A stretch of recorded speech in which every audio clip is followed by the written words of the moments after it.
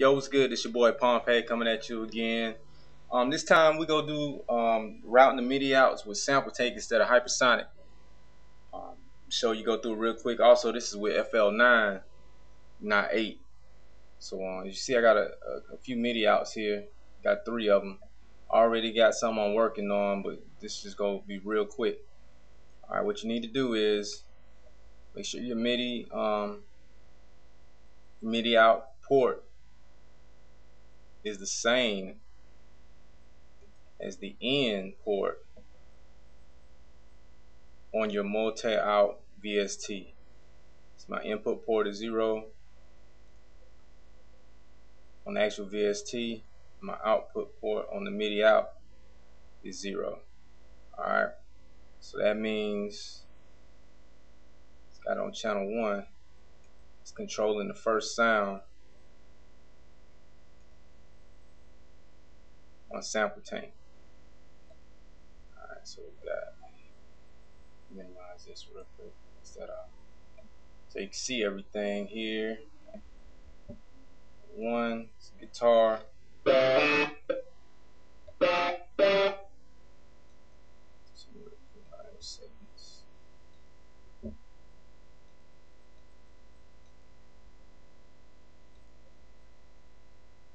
move a little faster hopefully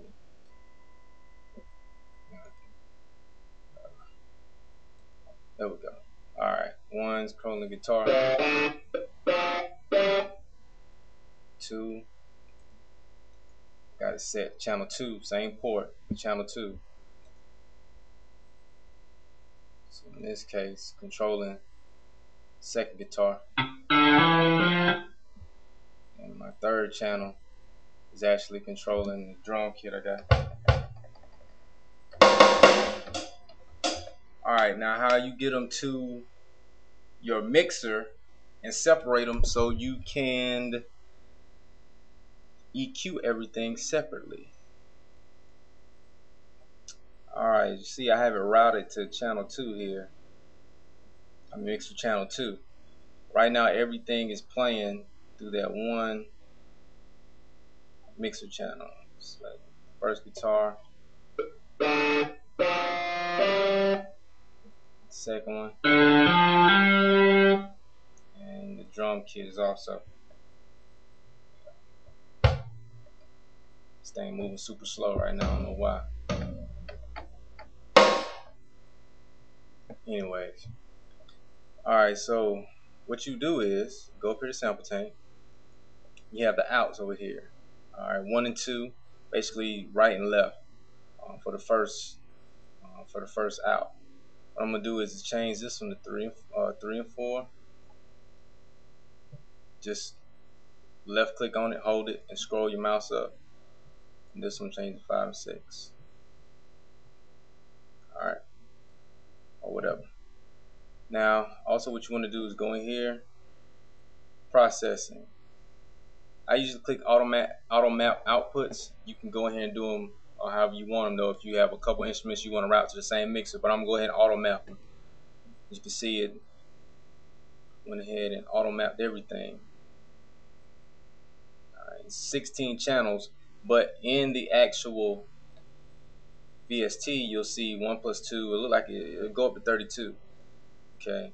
Reason being because you have one channel is for the left one channel is for the right keeping it stereo. Alright so now got that set. And I apologize for this being so slow. But I just want to do this real quick. Alright, so I have my guitar first, MIDI out. Alright,